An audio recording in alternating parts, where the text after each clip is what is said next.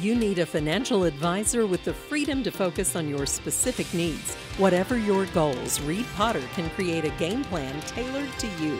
Call Reed at 432 0777 at Pikeville, Kentucky to learn more.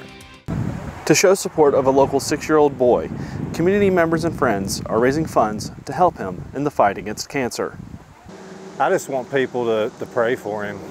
That's, that's all I ask is people to pray for him. Declan McCoy, a six year old boy from Phelps, was about to go on vacation to Florida before his mother noticed something odd about his face. It all happened on a Friday. We was planning on going on vacation on Florida.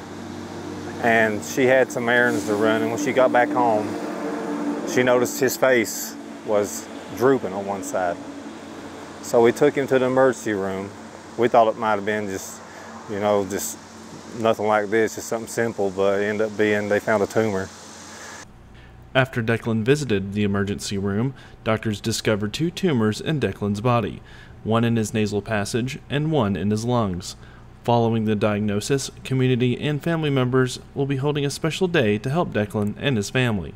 Um, Declan's Day began um, actually about a month or so ago. So Angie Lane actually headed it up, and we were just going to plan like a walk for the day, just trying to um, drum up some money for this family. Um, and once we made a group and the community started coming together, then it just turned into kind of like a festival, I guess you would say, or a, a little small town fair.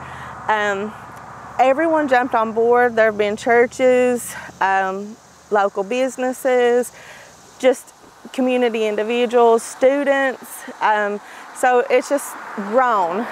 Under the banner of Declan's Day, games, concessions, and activities will be held to raise awareness and help Declan with medical expenses.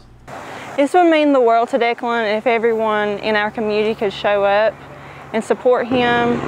Um, it would mean the world to him. It would mean the world to my family.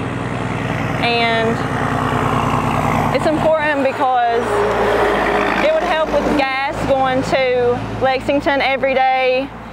Well, not every day, but every week.